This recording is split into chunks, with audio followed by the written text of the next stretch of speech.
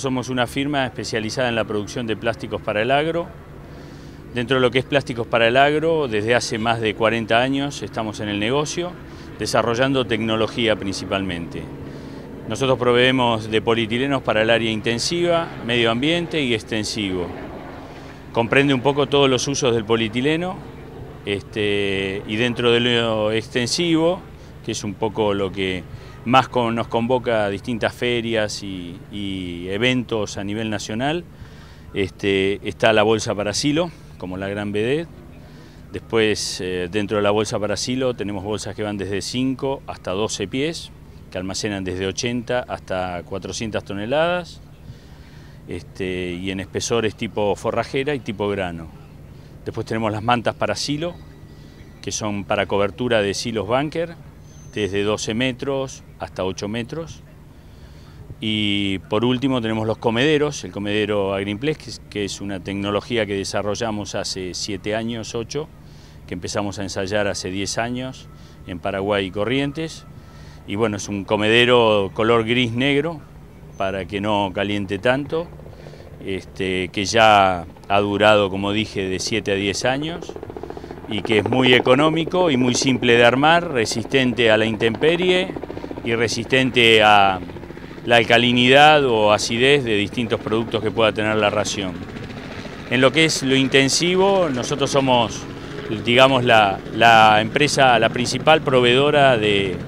de plásticos para el área intensiva, para las economías regionales, desde los invernaderos hasta los mulching, en las distintas opciones de cultivos de uso y aparte fuimos los desarrolladores e introductores de una nueva tecnología de producción que es la manta para parral, para cultivos frutales, que inició en Mendoza, en San Juan, con el tema de uva de mesa, y que hoy se ha extendido a la cereza, al arándano, al kiwi, al tomate y al pimiento. Y la manta para parral es un sistema de cultivos tipo parral, de palo y alambre, diseñado como un invernadero que al final termina cumpliendo la función del invernadero y con un costo muy acomodado por hectárea para cobertura total que es casi la mitad de una estructura de invernadero de madera de las más económicas de Argentina. Después todos los plásticos de invernadero que van hasta los 12 metros de ancho y bueno, la parte de túneles para cultivos de cucurubitáceas, cultivos de frutilla, este, de túneles de hasta 6 metros de ancho, desde 1,80 metro de ancho, en distintas versiones según las necesidades del cultivo. Y los mulching, que es la cobertura de suelo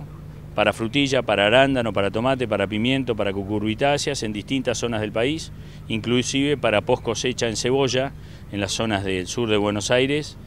y Mendoza. Y bueno, como último, y para no hacerlo más largo, este, tenemos lo que es las geomembranas, lo que sería el cuidado de los recursos escasos, el agua, y un poco lo que es la mediación ambiental en lo que son rellenos sanitarios y manejo de residuos tóxicos, que ese es el otro área que tenemos, el área de impermeabilización. Y como comentario genérico del polietileno en sí, del polietileno en el agro, eh, muchas veces se dice de que el polietileno contamina porque está tirado, porque vuela por el campo. El que contamina no es el polietileno, sino que somos los que lo usamos y en eso tratamos de hacer mucho hincapié, en la administración del residuo del polietileno,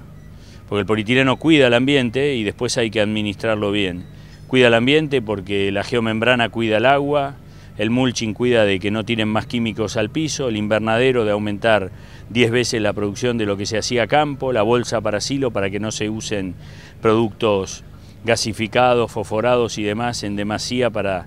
este, desinfectar los granos, así que un poco todo el resumen de los polietilenos y su beneficio al medio ambiente y al cuidado de nuestro ambiente. Así que bueno, esa es un poco la línea de productos que tenemos y bueno, desde ya resaltar nuestra vocación de ser partícipes activos del desarrollo de la tecnología en el país y en la región.